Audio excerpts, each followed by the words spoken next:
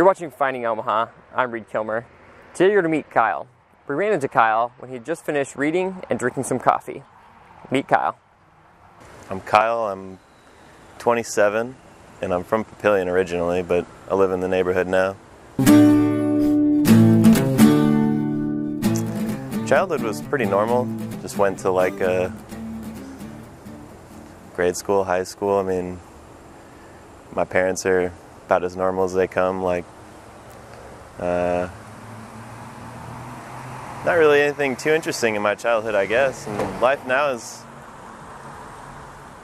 well, I'm kind of trying to figure out uh, what to do with my life, I guess.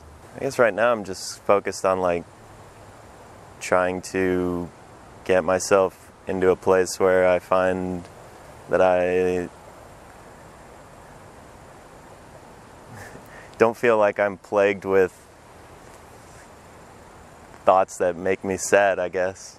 Part of me wants to say yes, but then the other part of me wants to say that any thing that I could consider to be a regret, if I consider it a regret, I'm probably not thinking about it the right way because it should be more of an opportunity to learn from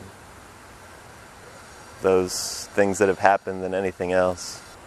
I like it, but I have some reservations, and I guess it's mo- more or less. I don't know if it's just how I live, but it seems like I oscillate between like today I was woke up at noon and I went to bed at three. I was just drinking a lot. And it seems like today I kind of woke up and I'm like, what do I do today?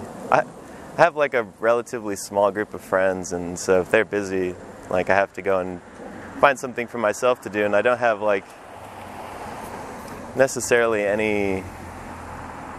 I'm trying to find like what's a good hobby. So like reading, I feel like is a good hobby. It's a decent way to spend your time, but then you know you can only read for so long until you feel like you probably want to go do something else and shopping or buying things isn't that interesting and eating alone at restaurants is only fun until you start to feel like you probably should be eating at a restaurant with other people. And then I get to the point where I think well I could go out and try and meet people but then in Omaha that kind of goes hand in hand with uh, drinking again, unless I'm, you know, in some like, you know, maybe I start to like join a group that does like theater or something, but I only have like a passing interest in that. It just seems easier to go out to a bar because that's kind of what I don't know, that's kind of the thing that it seems like there is to do. So maybe go to a show, see live music, or go to an art opening. But then all of those things also kind of go hand in hand with drinking. I like drinking, but I also like am conflicted about it as well because well, it hurts your body, like it hurts your mind. I don't know if I need to be remembered. I've thought about that a lot because you think like uh, like there's how many billions of people that are alive now there's how many billions and billions of people that have and multitudes of people that have been alive for the history of civilization that weren't remembered or maybe never even considered that they should be remembered. They didn't feel any entitlement to being remembered or that their lives were just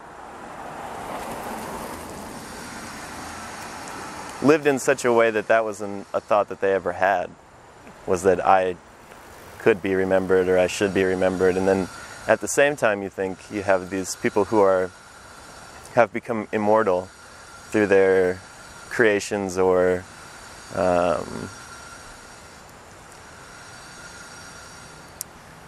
through their creations or contributions to uh, humankind whether it be a scientist, a mathematician, or an artist, uh, you think when you, if I were to walk into that speed bump sign without stopping, there'd be an equal and opposite reaction, and that's Newton. And so he's kind of immortal in that way, and that he made that contribution to society, but I don't know if Newton ever would have considered that perhaps he was doing that to be remembered. Uh, and the same goes for Beethoven. Like, did he create the symphonies that he's become immortal for creating because he wanted to become immortal? Maybe, but I can't know, and I don't like to think that it was so self serving that he did it because he didn't want to be forgotten, but he did it because he had this thing growing inside him, this thing eating away at his soul that he needed to get out. Um, and the symphonies are a result of that kind of expunging of emotion, I guess.